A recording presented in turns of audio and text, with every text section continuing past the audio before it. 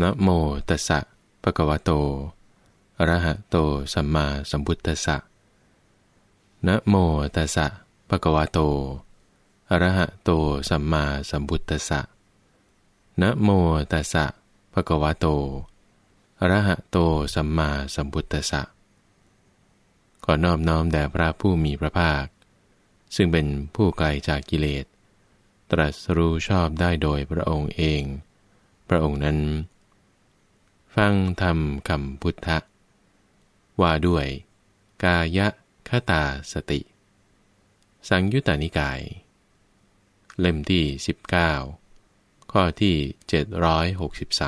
763 มีในสมัยหนึ่ง พระผู้มีพระภาค ประทับอยู่นิคมของชาวสุมะพะ ชื่อเสทกะ ในสุมะพะชนบท นาทีนั้นแล ได้ตรัสกับภิกษุทั้งหลาย อย่างนี้ว่า ภิกษุทั้งหลาย เปรียบเหมือนในหมู่มหาชน ได้ทราบข่าวว่า มีนางงามในชนบท พึ่งประชุมกัน ก็นางงามในชนบทนั้น น่าดูอย่างยิ่ง ในการฟ้อนรำน่าดูอย่างยิ่งในการขับร้อง หมู่มหาชน เมื่อได้ทราบข่าวว่า นางงามในชนบทจะฟ้อนรำขับร้อง พึงมาประชุมกันยิ่งกว่าประมาณ ครั้นั้นแหลบุรุษผู้อยากเป็นอยู่ ไม่อยากตาย รักสุข เกลียดทุกข์ พึงมาในที่นั้น มีผู้กล่าวกับบุรุษนั้น อย่างนี้ว่า ท่านผู้เจริญ ท่านพึงนำภาชนะน้ำมัน อันเต็มเปี่ยมนี้ไป ในระหว่างแห่งที่ประชุมใหญ่ กับนางงามในชนบทนั้น และจะมีบุรุษเงื้อดาบ ตามท่าน ผู้ถือหม้อน้ำมัน ตามไปข้างหลังข้างหลัง กล่าวอยู่ว่า ถ้าท่านทำน้ำมันนั้นหกแม้หน่อยหนึ่งในที่ใด ศีรษะของท่าน จะขาดตกลงไปในที่นั้นทีเดียว ดังนี้ภิกษุทั้งหลาย พวกเราทั้งหลายจะสำคัญความข้อนี้ว่าอย่างไร บุรุษผู้นั้น จะไม่ใส่ใจภาชนะน้ำมันน้นแล้วพึงประมาทในภายนอกเชียวหรือ ข้อนั้นไม่เป็นอย่างนั้นพระเจ้าข้าภิกษุทั้งหลาย อุปมานี้เราสมมุติขึ้น เพื่อให้รู้เนื้อความ คือคำว่า ภาชนะน้ำมัน อันเต็มเปี่ยมนั้น เป็นชื่อของกายคตาสติ ประเหตุนั้นแลพวกเธอทั้งหลาย พึงสำเนียงใจอย่างนี้ว่า กายคตาสติ จะเป็นสิ่งอันเราเจริญแล้วทำให้มากแล้ว กระทำให้เป็นดุจยานเครื่องนำไป กระทำให้เป็นที่ตั้ง ปรารบเนืองเนือง สม่ำเสมอดีแล้ว พวกเธอทั้งหลายพึงสำเนียงใจอย่างนี้ อีกพระสูตรหนึ่ง ชาปานะสูตร อุปมาด้วยสัตว์หกชนิด สังยุตตานิกาย เล่มที่ 18 ข้อที่ 348 ภิกษุทั้งหลาย บุรุษผู้มีตัวเป็นแผล มีตัวผู้พอง พึงเข้าไปสู่ป่าหญ้าคา ถ้าแม้หน่อหญ้าคา พึงตำเท้าของบุรุษนั้น ใบหญ้าคา พึงบาดตัวที่ผู้พอง บุรุษนั้น พึงเสวยทุกโทมนัส ซึ่งมีการตำและการบาดนั้นเป็นเหตุ โดยยิ่งกว่าประมาณ ข้อนี้ฉันใด ภิกษุทั้งหลาย บุคคลบางคนในธรรมะวินัยนี้ ก็ฉันนั้น อยู่ในบ้านก็ดี อยู่ในป่าก็ดีย่อมได้บุคคลผู้กล่าวทวงว่า ท่านผู้นี้แล กระทำอย่างนี้ มีสมาจารอย่างนี้ เป็นหนามแห่งชาวบ้าน ผู้ไม่สะอาด เพราะฉะนั้น บุคคลจึงชื่อว่า เป็นหนามแห่งชาวบ้าน ผู้ไม่สะอาดนั้น ภิกษุผู้รู้แจ้งอย่างนี้แล้ว พึงทราบการไม่สังวร และการสังวร ภิกษุทั้งหลายก็การไม่สังวรเป็นอย่างไร คือเธอผู้ใดในธรรมวินัยนี้ เห็นรูปด้วยตาแล้ว ย่อมน้อมใจไปในรูปอันน่ารัก ย่อมขัดเคืองในรูปอันไม่น่ารัก ย่อมไม่เป็นผู้เข้าไปตั้งกายะคตาสติไว้ มีใจมีประมาณน้อย และย่อมไม่รู้ชัด ซึ่งเจโตวิมุตติ ปัญญาวิมุตติ อันเป็นที่ดับไปไม่เหลือ แห่งอกุศลธรรม อันบังเกิดขึ้นแล้ว อันเป็นสิ่งลามกเหล่านั้นตามที่เป็นจริงแต่นั้นเมื่อฟังเสียงด้วยหู ดมกลิ่นด้วยจมูก ลิ้มรสด้วยลิ้น ถูกต้องผลตบะด้วยกาย และรู้แจ้งธรรมารมด้วยใจแล้ว ย่อมน้อมใจไปในธรรมารมอันน่ารัก ย่อมขัดเคืองในธรรมารมอันไม่น่ารัก ย่อมไม่เป็นผู้เข้าไปตั้งกายะคตาสติไว้ มีใจที่มีประมาณน้อย ย่อมไม่รู้ชัดซึ่งเจโตวิมุตติ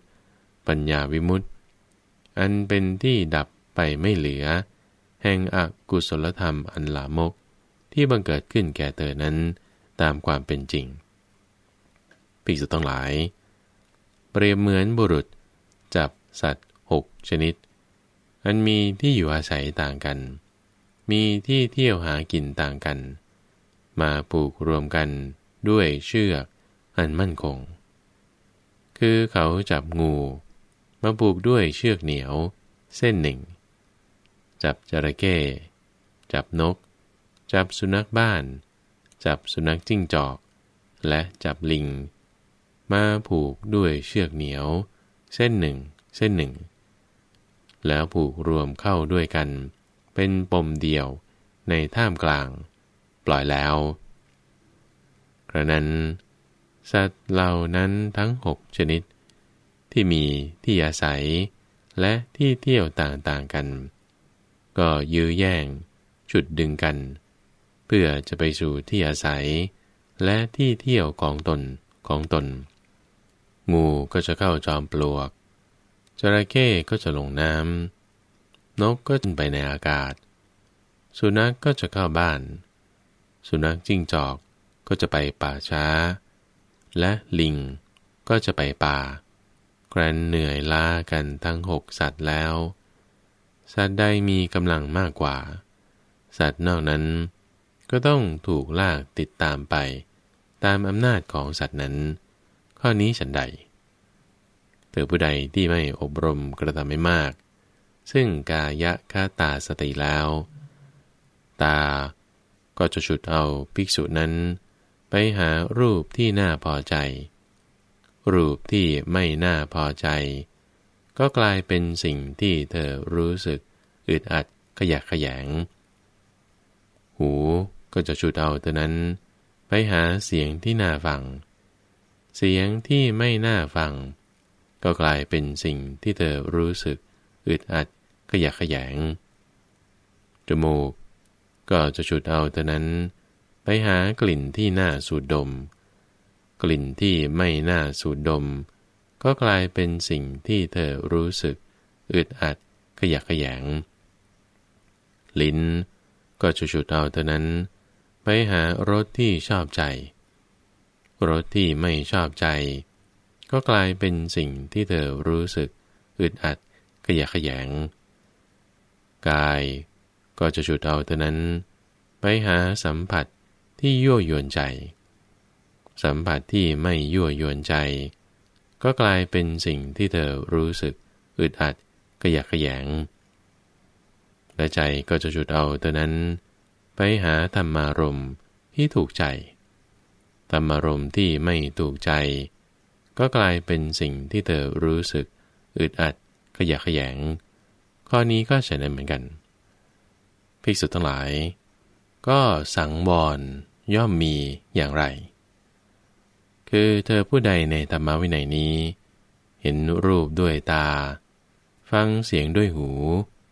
ดมกลิ่นด้วยจมูก ลิ้มรสด้วยลิ้น ถูกต้องผลตป้าด้วยกาย หรือรู้แจ้งธรรมรมด้วยใจ ย่อมไม่น้อมใจ ไปในธรรมารมอันน่ารัก ย่อมไม่ขัดเคือง ในธรรมารมอันไม่น่ารัก เป็นผู้เข้าไปตั้งกายสติไว้ มีใจหาประมาณไม่ได้อยู่ และย่อมรู้ชัด ซึ่งเจโตวิมุตติ ปัญญาวิมุตติ อันเป็นที่ดับไปไม่เหลือ แห่งอกุศลธรรม อันลามกเหล่านั้น อันบังเกิดขึ้นแล้วแก่เธอ ตามความเป็นจริง เปรียบเหมือนเมื่อบุรุษ จับสัตว์หกชนิด ที่มีที่อยู่อาศัยต่างกัน มีที่เที่ยวหากินต่างกันมาผูกรวมกัน ด้วยเชือกอันมั่นคง คือเขาจับงูมาผูกด้วยเชือกเหนียว เส้นหนึ่ง จับจระเข้ จับนก จับสุนัขบ้าน จับสุนัขจิ้งจอก และจับลิงมาผูกด้วยเชือกเหนียว เส้นหนึ่ง เส้นหนึ่ง ครั้นแล้วนำไปผูกไว้กับเสาเขื่อน หรือเสาหลักอีกต่อหนึ่งครั้นั้น สัตว์ทั้งหกชนิดเหล่านั้นที่มีที่อาศัย และที่เที่ยวต่างๆกัน ก็ยื้อแย่งชุดดึงกัน เพื่อจะไปสู่ที่อาศัย และที่เที่ยวของตนของตน งูก็จะเข้าจอมปลวกจระเข้ก็จะลงน้ำ นกก็จะบินขึ้นไปในอากาศ สุนัขกก็จะเข้าบ้าน สุนัขจิ้งจอกก็จะไปป่าช้า และลิงก็จะไปป่า ในการใดแล ความเป็นไปภายในของสัตว์ทั้งหกชนิดเหล่านั้นมีแต่ความเมื่อยล้าแล้ว ในการนั้น มันทั้งหลายก็จะพึงเข้าไปยืนเจ้า นั่งเจ้า นอนเจ้า อยู่ข้างเสาเขื่อน หรือเสาหลักนั่นเอง ข้อนี้ฉันใด เธอผู้ใดที่ได้อบรมกระทำให้มาก ในกายะคะตาสติแล้ว ตาก็จะไม่ชุดเอาเธอนั้น ไปหารูปที่น่าพอใจ รูปที่ไม่น่าพอใจ ก็ไม่เป็นสิ่งที่เธอรู้สึก อึดอัดขยะขยง หู ก็จะไม่ชูดาวเท่านั้น ไปหาเสียงที่น่าฟัง เสียงที่ไม่น่าฟัง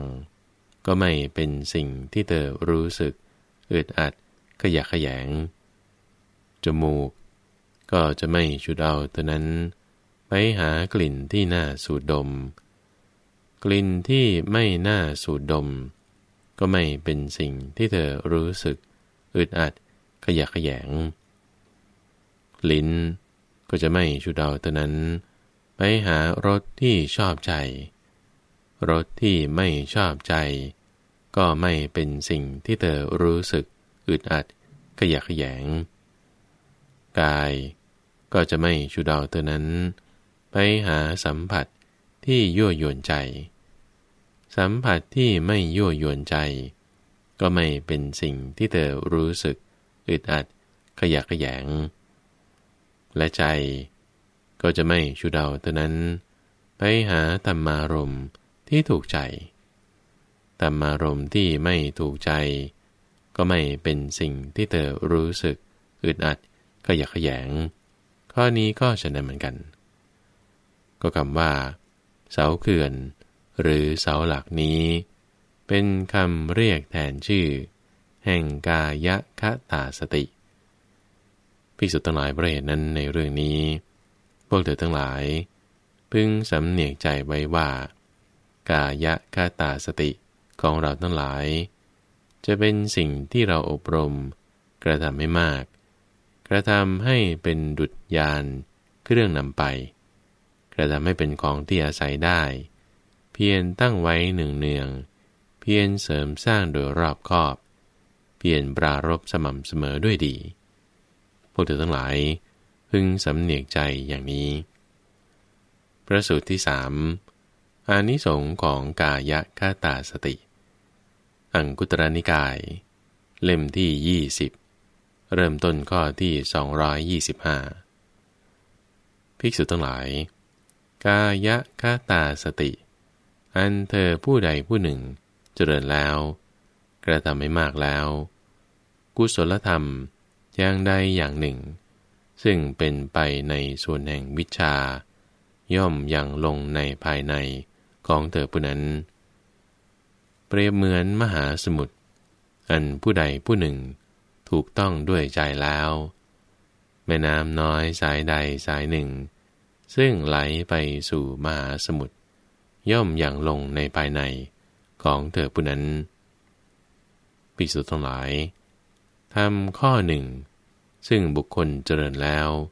กระทำไม่มากแล้ว จะเป็นไปเพื่อความสังเวชอย่างใหญ่ เป็นไปเพื่อประโยชน์อย่างใหญ่ เป็นไปเพื่อความเกษมจากโยคะอันใหญ่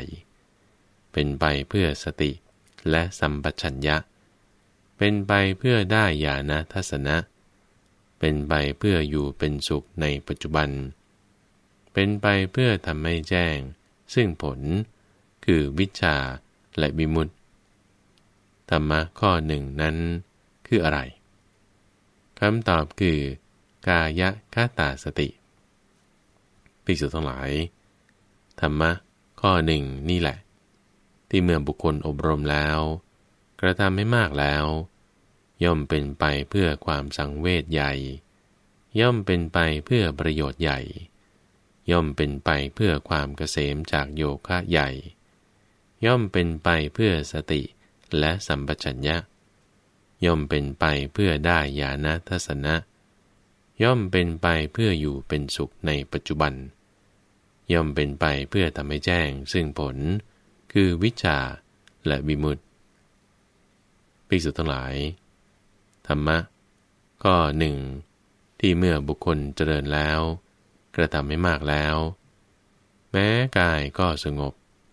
แม้จิตก็สงบ แม้วิโตวิจารก็สงบ ธรรมะที่เป็นไปในส่วนแห่งวิชาแม้ทั้งสิ้น ก็ถึงความเจริญบริบูรณ์ทำข้อหนึ่งนั้น คือกายะคาตาสติ ภิกษุทั้งหลาย เมื่อธรรมะข้อหนึ่งอันบุคคลเจริญแล้ว ระทำให้มากแล้วอกุศลธรรมที่ยังไม่เกิด ย่อมไม่เกิดขึ้นได้เลย และอกุศลธรรมที่เกิดขึ้นแล้ว ย่อมละเสียได้ธรรมะข้อหนึ่งนั้น คือกายะคาตาสติภิกษุทั้งหลายธรรมะ ข้อหนึ่งที่เมื่อบุคคลเจริญกระทำไม่มากแล้ว กุศลธรรมที่ยังไม่เกิด ก็ย่อมเกิดขึ้น และกุศลธรรมที่เกิดขึ้นแล้ว ย่อมเป็นไปเพื่อความเจริญไปบุญยิ่ง ธรรมะข้อหนึ่งนั้น คือกายะคาตาสติภิกษุทั้งหลาย เมื่อธรรมะข้อหนึ่ง อันบุคคลเจริญแล้ว กระทำให้มากแล้ว ย่อมละอวิชชาเสียได้ วิชาย่อมเกิดขึ้น ย่อมละความสำคัญมั่นหมายในตัวตนเสียได้ อนุสัยย่อมถึงความเพิกถอน ย่อมละเครื่องร้อยรัด คือสังโยชน์เสียได้ ธรรมะข้อหนึ่งนั้น คือกายคตาสติภิกษุทั้งหลายเมื่อธรรมะข้อหนึ่ง อันบุคคลเจริญแล้ว กระทำให้มากแล้ว ย่อมเป็นไปเพื่อความแตกฉานแห่งปัญญา ย่อมเป็นไปเพื่ออนุปาทาปรินิพาน ธรรมะข้อหนึ่งนั้น คือกายะคตาสติ ธรรมะข้อหนึ่ง อันบุคคลเจริญแล้ว กระทำให้มากแล้ว ย่อมมีการแทงตลอด ซึ่งธาตุเป็นอเนก ย่อมมีการแทงตลอด ซึ่งธาตุต่างๆ ย่อมมีความแตกฉานในธาตุมากมาย ธรรมะข้อหนึ่งนั้น คือกายะคตาสติภิกษุทั้งหลายเมื่อธรรมะข้อหนึ่ง อันบุคคลเจริญแล้ว กระทำให้มากแล้ว ย่อมเป็นไป เพื่อทำโสดาปฏิผลให้แจ้ง ย่อมเป็นไป เพื่อทำสกทาคามิผลให้แจ้ง ย่อมเป็นไป เพื่อทำอนาคามิผลให้แจ้ง ย่อมเป็นไป เพื่อทำอรหัตตผลให้แจ้ง ธรรมะข้อหนึ่งนั้น คือกายคาตาสติภิกษุทั้งหลาย ธรรมะข้อหนึ่ง ซึ่งเมื่อบุคคลเจริญกระทำให้มากแล้ว ย่อมเป็นไปเพื่อได้ปัญญา ย่อมเป็นไป เพื่อความเจริญแห่งปัญญา ย่อมเป็นไปเเพื่อความไพ่บูรแห่งปัญญา ย่อมเป็นไป เพื่อความเป็นผู้มีปัญญาใหญ่ ย่อมเป็นไป เพื่อความเป็นผู้มีปัญญามาก ย่อมเป็นไป เพื่อความเป็นผู้มีปัญญาไพบูรย่อมเป็นไป เพื่อความเป็นผู้มีปัญญาลึกซึ้ง ย่อมเป็นไป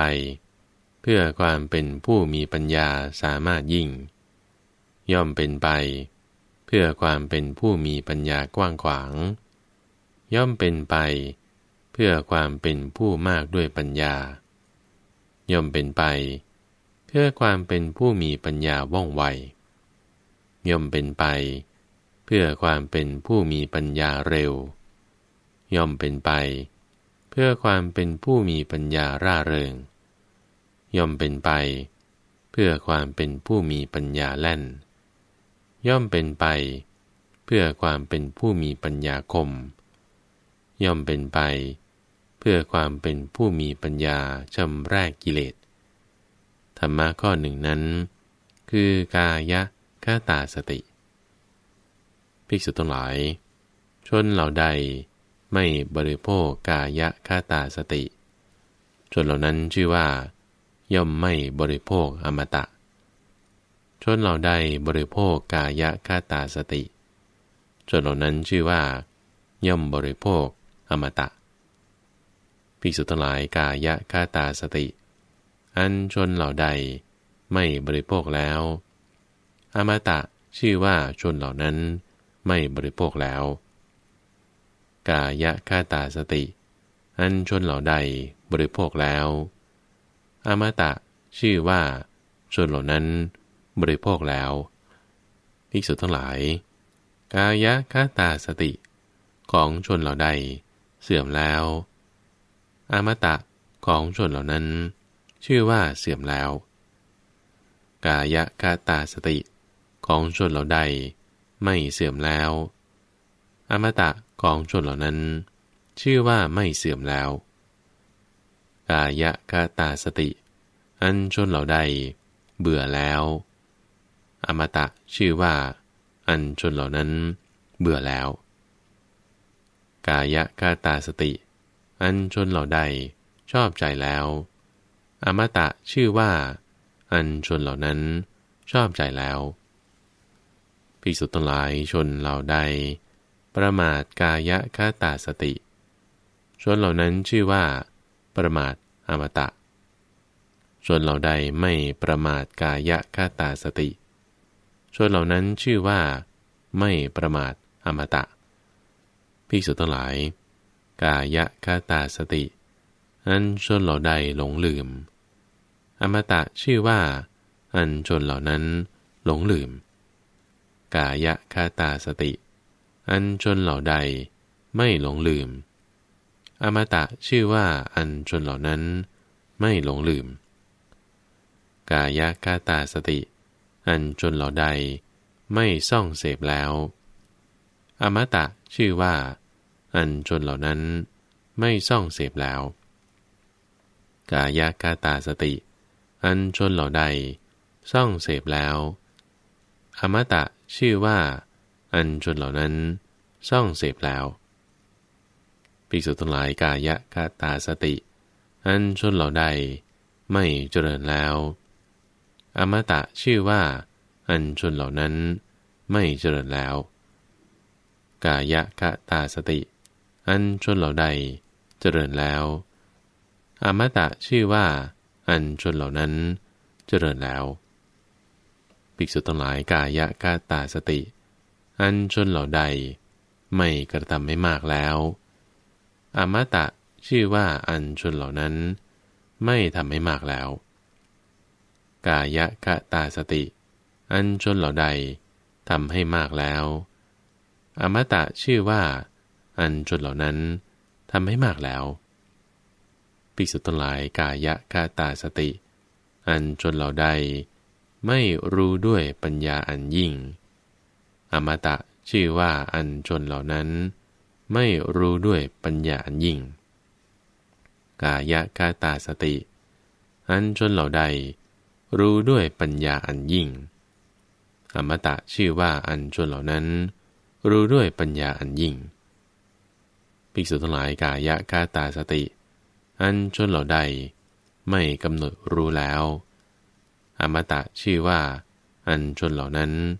ไม่กำหนดรู้แล้ว กายะกาตาสติ อันชนเหล่าใดกำหนดรู้แล้วอมตะชื่อว่าอันชนเหล่านั้น กำหนดรู้แล้วปิสุทั้งหลายกายะกะตาสติ อันชนเหล่าใด ไม่ทำให้แจ้งแล้วอมตะชื่อว่า อันชนเหล่านั้น ไม่ทำให้แจ้งแล้ว กายกาตาสติ อันชนเหล่าใดทำให้แจ้งแล้วอมตะชื่อว่า อันชนเหล่านั้นทำให้แจ้งแล้ว กายคาตาสติ ตามนัยะแห่งมหาสติปฐานสูตร ภิกษุทั้งหลาย ก็บุคคลเป็นผู้มีปกติ พิจารณาเห็นกายในกายอยู่นั้นเป็นอย่างไรเล่า คือเธอในกรณีนี้ เมื่อไปแล้วสู่ป่า หรือโคนไม้ หรือสู่เรือนว่างก็ตาม ยมนั่งคู่ขาเข้ามาโดยรอบ ตั้งกายตรงดำรงสติไว้เฉพาะหน้า มีสติหายใจเข้า มีสติหายใจออก เมื่อหายใจเข้ายาว ก็รู้ชัดว่าเราหายใจเข้ายาว เมื่อหายใจออกยาว ก็รู้ชัดว่าเราหายใจออกยาว หรือว่าเมื่อหายใจเข้าสั้น ก็รู้ชัด ว่าเราหายใจเข้าสั้น หรือเมื่อหายใจออกสั้น ก็รู้ชัด ว่าเราหายใจออกสั้น ย่อมทำการศึกษาฝึกฝน ให้เป็นผู้รู้พร้อมเฉพาะ ซึ่งกายทั้งปวง หายใจเข้า ให้เป็นผู้รู้พร้อมเฉพาะ ซึ่งกายทั้งปวง หายใจออกทำการศึกษาฝึกฝน ให้เป็นผู้ทำการปรุงแต่งทางกาย ให้ระงับอยู่ หายใจเข้า ให้เป็นผู้ทำการปรุงแต่งทางกาย ให้ระงับอยู่ หายใจออก เช่นเดียวกับนายช่างกลึง หรือลูกมือของนายช่างกลึง ผู้ชำนาญ เมื่อชักเชือกกลึงยาว ก็รู้ชัดว่าเราชักเชือกกลึงยาว หรือเมื่อชักเชือกกลึงสั้น ก็รู้ชัด ว่าเราชักเชือกกลึงสั้น ฉันใดก็ฉันนั้น ด้วยอาการอย่างนี้แหละ เธอย่อมชื่อว่า เป็นผู้พิจารณา เห็นกาย ในกาย อันเป็นภายในอยู่บ้าง พิจารณาเห็นกายในกาย อันเป็นภายนอกอยู่บ้าง พิจารณาเห็นกายในกาย ทั้งภายใน และภายนอกอยู่บ้าง แต่เธอเป็นผู้มีปกติ พิจารณาเห็นธรรม อันเป็นเหตุเกิดขึ้น แห่งกายนี้อยู่บ้าง พิจารณาเห็นธรรม อันเป็นเหตุเสื่อมไป แห่งกายนี้อยู่บ้าง พิจารณาเห็นทั้งธรรม อันเป็นเหตุเกิดขึ้น และเสื่อมไป แห่งกายนี้อยู่บ้าง ก็สติ คือความระลึกได้ว่า กายมีอยู่ ดังนี้ของเธอนั้น เป็นสติที่เธอดำรงไว้ เพียงเพื่อความรู้ เพียงเพื่ออาศัยระลึก ที่แท้ เธอเป็นผู้ที่ตัณหาและทิฏฐิอาศัยไม่ได้ และเธอก็ไม่ยึดมั่นถือมั่นอะไรอะไรในโลก เธอผู้ที่เป็นเช่นนี้ละ่ะ ชื่อว่าเป็นผู้มีปกติ พิจารณาเห็นกาย ในกาย อยู่เป็นประจำ ฟังธรรมคำพุทธะ